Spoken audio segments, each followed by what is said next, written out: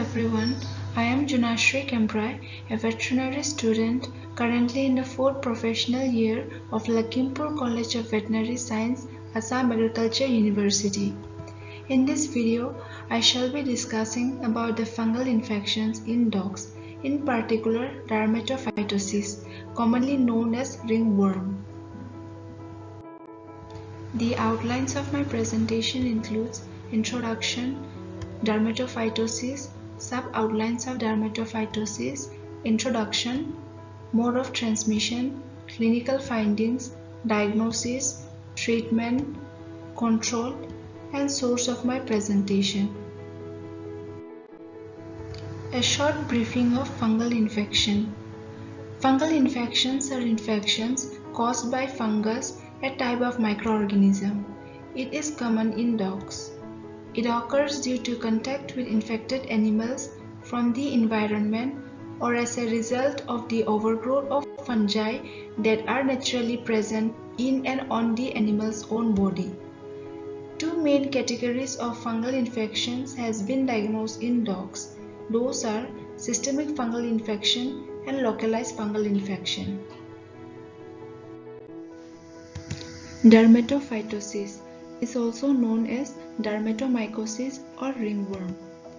Dermatophytosis is a superficial fungal infection of the cornified epidermis, which includes skin, hair, and claws. It is caused by a group of taxonomically related fungi known as dermatophytes. The dermatophytes create a change of the invaded structure and this alteration along with immunological reactions are clinically known as ringworm. Epidemiology It occurs worldwide and affects all domestic animals. Etiology Of all the fungal infection in dogs, 70% is caused by Microsporum canis, 20% by Microsporum gypseum, and 10% by Trichophyton mentagrophytes. And several of the causative fungi also cause zoonotic infections.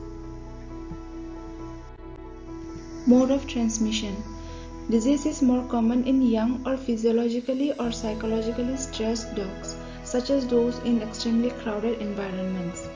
Transmission is by direct contact with an infected animal or contaminated objects such as furniture or grooming tools, but mere exposure does not always result in disease.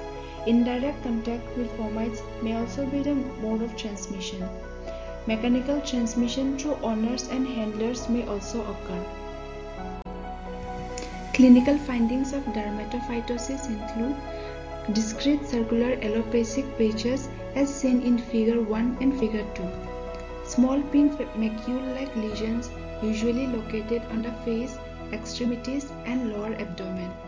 Hair loss, scaling, crusting, erythema, papules, hyperpigmentation and variable pruritus may also be seen. In advanced stages, lesions are circumscribed, discrete and covered with grayish scales. In rare cases, beehive appearance on the skin may also be seen. Nodular lesions known as kerion reactions can also develop. Diagnosis can be done by proper history taking and clinical examination of the animal by direct examination of scales and hairs or skin biopsy, which are the only two diagnostic tests that can confirm invasion of the skin or hair follicles. Cultural examination. F fungal culture can determine whether spores are present on the hair coat and must be used in conjunction with clinical examination findings. Wood's lamp method. Thermoscope can be used to find abnormal hairs for direct examination. PCR testing confirms the presence or absence of fungal DNA on the hair coat. Figure 1 shows the detection of dermatophytosis by using Wood's lamp method and figure 2 shows the direct examination of M. canis infected hair.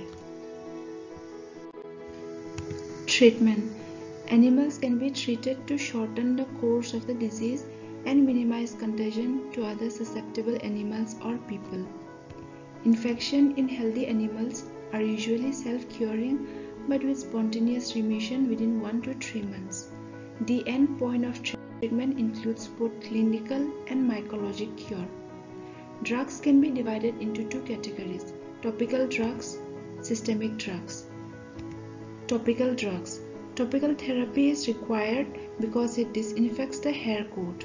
This is important because infective spores are the source of contagion and transmission and disinfection minimizes environment contamination. Topical drugs includes ointments, creams, lotions and sprays containing miconazole, clotrimazole, thiabendazole, haloprogin, etc. Whole body rinse twice a week. Antifungal shampoos containing 0.5% chlorhexidine, 2% miconazole or ketoconazole. Systemic antifungal drugs. Example, griseofulvin given at the rate 7 to 20 mg per kg body weight. Ketoconazole given at the rate 10 mg per kg body weight. Thiabendazole given at the rate 2 to 5.5 mg per kg body weight. Orally for at least 3 weeks and if needed continued for another 1 to 2 weeks. Pulse therapy is also effective. Other drugs include antihistaminics, essential fatty acids, liver tonics, and supportive treatment.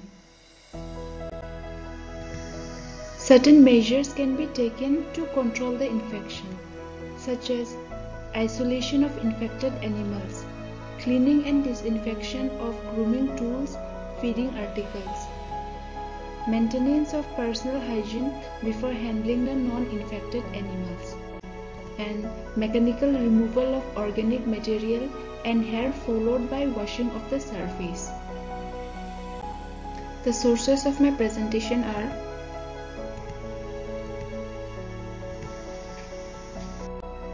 That's all about my presentation. Thank you.